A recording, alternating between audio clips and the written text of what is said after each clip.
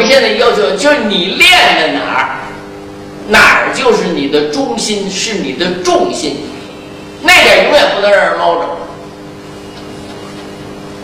当你的手推不着我的时候，你变成阴的时候，我这时候从里边就变成阳了，就来了，跟你合作上了，配合上了。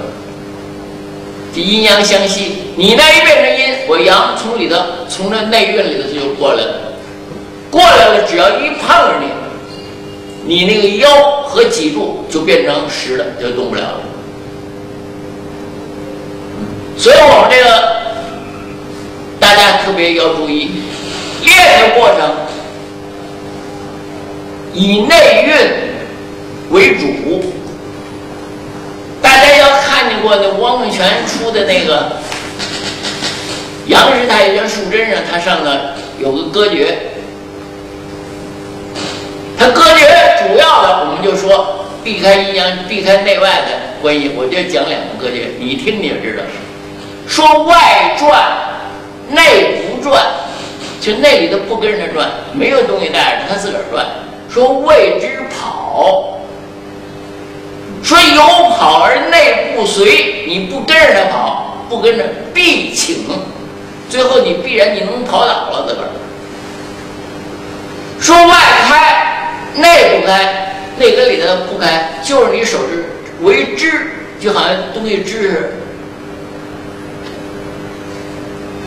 有支而内不随着走，是必必断。实际就这样，我们想想进攻人家的时候，我们里头没有，里头不进攻，往手往外吃，你支了头了，你有什么用？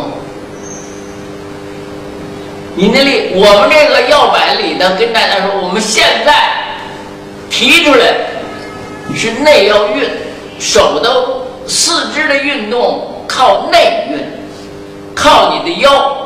靠你的内气，靠你的意念来运动。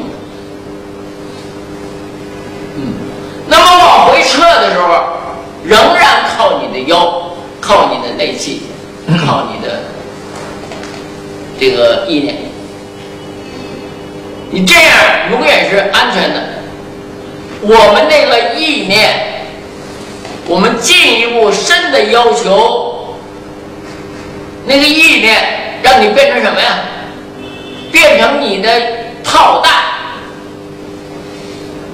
你的内气也变成炮弹。所以我们严格的说，你要把意念练熟了，练个一年两年以后，我们原来提出来说三年一小成，就是你一练一年呢，你就有个小成；五年一大成。你练的一年练过三年以后，你那里的东西再出去，它就不不像个气了。你这手就好像这是炮筒子，说打，咚一下就出去，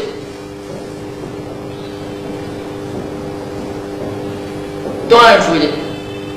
所以这个大家练这时候特注意，我们强调，再再强调一下，我们到外头，我们看人家。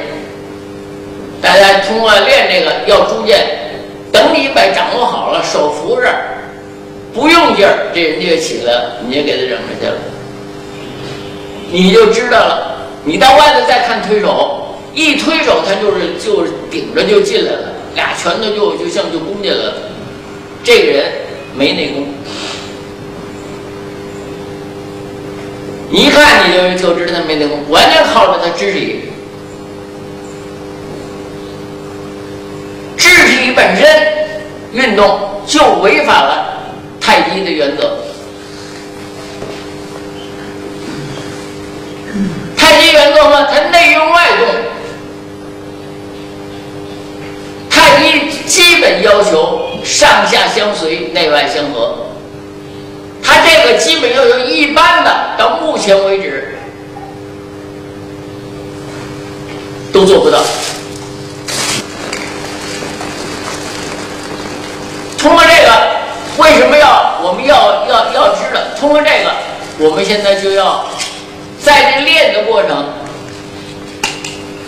手上不让你使劲，就说你的手没有进攻和后退的义务，没有这个义务。你伸出去你也等着，你听着，这个该进攻的时候说，该后撤的时候，你听内里的支配，内用外动嘛，内里的支配让你退，他就拉着你走了；说让你进，他就送着你就进去了。